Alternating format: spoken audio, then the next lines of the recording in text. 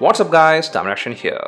I've already done the unboxing and review of the iPhone 11 in our channel, but this video is different from those because it's all about how the iPhone 11 aged after 6 months of use. Perfect.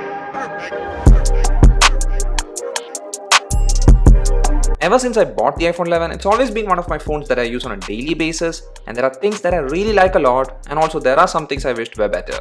So first, let's check all the things that stayed positive over the course of time and in that, the first thing is the cameras. Well, you might have probably seen some of these types of shots in our bike videos and that all came from the iPhone 11 and all of that was captured without a gimbal and it's also done using my not so very steady hand. I mean the reason I prefer the iPhone for such shots is because 1. It's crisp quality and 2. It's very smooth stabilization. This phone is still the best in terms of taking videos and there is no competition for it. And about photos, I would say it's in the top 3. The main sensor can capture great shots in almost all lighting scenarios and about the ultra wide angle camera, even though it's not the best, it still does its job pretty neatly. And that's the reason I said I still love the cameras and that's one of the things that has aged pretty well. Now about the front camera, it's also a great one with better field of capture and also with better quality photos. But I wouldn't hype it like the rear camera because during this period of time, some of the newly launched phones does offer better performance with the front camera, but about the whole camera experience, it's without doubt still great in the iPhone 11.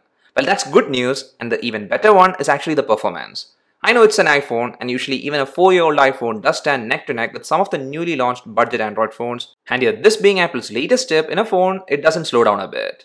Let it be gaming or casual browsing or even exporting a photo, it's a simple task for the A13 Bionic in the iPhone 11. Well, there is one thing to note here, which is I never ever resetted this phone after setting it up for the first time I took it out of the box, and here I did install and delete plenty of apps and games, and still the performance has been the same as it was out of the box. In short, it's still excellent. The 4GB RAM available is more than enough for iOS and your 10 to 12 apps do stay open in the memory and even if it needs any reloading, it's done instantly. And also by the way, the variant I bought is the base variant, but still I do have adequate space left and it's mainly because I do store majority of the stuff in cloud and hence it's not an issue for me. But if you're looking to use it for 2 to 3 years, I would strongly suggest to get at least the 120GB variant. So two main things that matter with the phone did age really well and let's move to the next thing that has aged great and that's the battery. The battery used here is a 3110 mAh battery and even if it's not massive in size, but the optimization is excellent and also the spec here are not power hungry and therefore battery life is an easy one day with heavy use and 2 days if it's average use. That's pretty great for any phone and here this has been the same from the first day till now.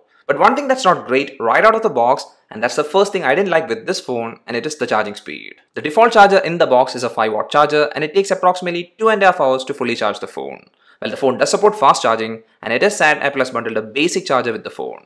Now there is another factor which as of now feels like it could have been sharper, especially for the price, and it's the display. The display size is 6.1 inches and the resolution on paper looks very much backwards. But the real thing is that while using it, well the display panel by itself is a good one with accurate colors neat viewing angles, and great quality. But sharpness is something that has to be considered and here because of the lower resolution, I did start to notice it after comparing it with much sharper displays. Well that's something I felt Apple should have improved because for the price they are charging it, it doesn't matter if it's an IPS LCD panel, but they should have improved the resolution. Well, I still think from a normal distance and also if you're not pixel peeping, this display is still great, but when you put it side by side with much lower priced higher resolution AMOLED screens, then you'll start noticing it. But again, I would like to stress, if you take pricing out of the equation, this is still one of the best LCD displays available even as of now. And since we have been touching on pricing, that's another thing that has become a negative point for this phone. Well, to be precise, the pricing in India. In US, the pricing is still the same as it was from the beginning, but in India, it has gone up because of GST rate hike, which I know is not being controlled by Apple, but still I feel they could have done some price adjustments to maybe keep it to the same price for what it was launched. And for your reference, this is the new price list of all variants with starting price being 68,300 Indian rupees. Well, after 6 months of use, there are just some things that started to look bad, but like I said in the beginning, the core things like camera, performance and battery is still holding great, and some of the other factors like design has also aged really well. My usage pattern is always with a tempered glass screen guard, and about case, I just alternate with and without it. And during this period of time, the back glass and also the aluminum frame has aged properly. The red color is still holding fine without any noticeable scratches and also all the buttons work as it was from the beginning with the same tactile feedback and about the lightning port, it has also held up well. And about the back glass, again, it doesn't have any visible scratches and also this matte camera section which actually comes in contact all the time is also scratch free and same is the case with the camera lens and ring around it. But here, I will always recommend to use a case and a tempered glass screen guard. Then about the speakers, there is a dual speaker setup here with the audio output still being crystal clear and about loudness, it's on par with other flagship phones. And now coming to the earpiece, it's also another hardware that has stayed same from the beginning. Chords do sound clear and the microphones also work well.